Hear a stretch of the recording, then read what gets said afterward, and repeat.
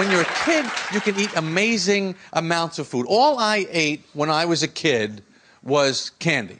Just candy, candy, candy. And the only really clear thought I had as a kid was get candy.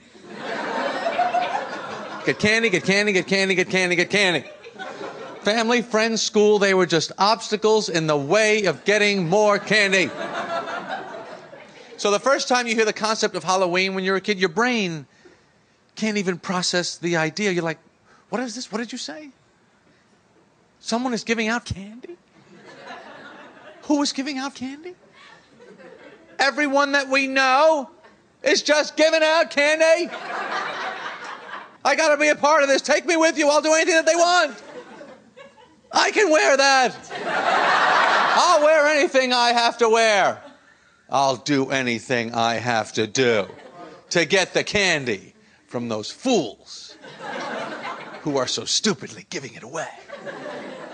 First couple years, I made my own costumes ghost, hobo, the worst. I knew my destiny was to one day get a real Superman Halloween costume from the store. You know the one, cardboard box, cellophane top, mask included in the set. Oh, baby!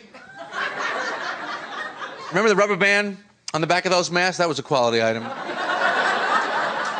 Thinnest gray rubber in the world. It was good for about 10 seconds before it snapped out of that cheap little staple they put it in there with. You would go to your first house, trick or snap. It broke. I don't believe it. Wait up, I gotta fix it! You guys, wait up! Kids don't want other kids to wait, they want them to wait up! Would you wait up? Because when you're little, your whole life is up. You, you want to grow up, everything is up. Wait up, hold up, shut up. Mom, I'll clean up. Just let me stay up. When you're a parent, of course, it's just the opposite. Everything's down. Just calm down. Slow down. Come down here. Sit down. Put that down. And keep it down in there. You're grounded. So the day finally came. I finally convinced my parents to buy me an official Superman Halloween store costume.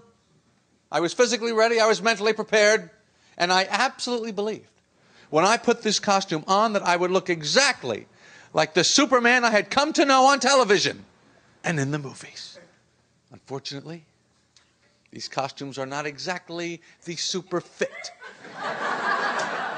that you are hoping for. You look more like you're wearing Superman's pajamas. It's all loose and flowy. The neckline comes down about your stomach. You got that flimsy little ribbon string in the back holding it all together. Plus, my mother makes me wear my winter coat over the costume anyway.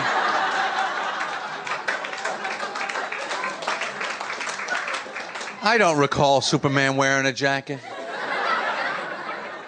I read every comic book. I do not remember him ever once flying with a coat on.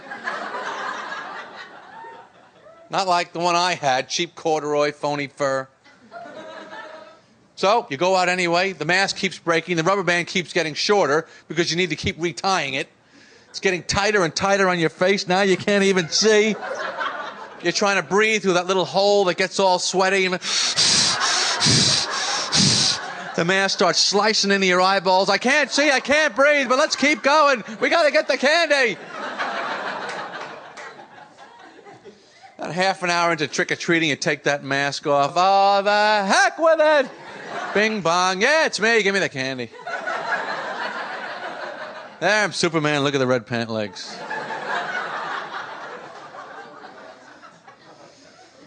Year after year, I never gave up on trick or treating, but I remember those last few Halloweens. I was getting a little old for it, just kind of going through the motions. Bing bong. Come on, lady. Let's go. Halloween, doorbells, candy. Let's pick it up in there. They come to the door, they always ask you those same stupid questions. What are you supposed to be? It's supposed to be done by now. You want to move it along with the Three Musketeers? I got 18 houses on this block, sweetheart. You hit the bag, we hit the road. That's the way it works.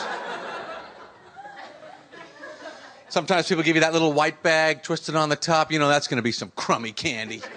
No official Halloween markings on it. I don't think so. Wait a second, what is this? The orange marshmallow shaped like a big peanut? Do me a favor, you keep that one. Yeah, we've got all the door stops we need already. Thank you very much. We're going for name candy only this year. At the end of Halloween, I was able to fill a punch bowl so full of candy, the top of it would be curved. It was like a planet. And I would consume the entire thing that night. Next morning, wake up, feel fantastic. And that's when I realized when you're a kid, you don't need a costume. You are Superman.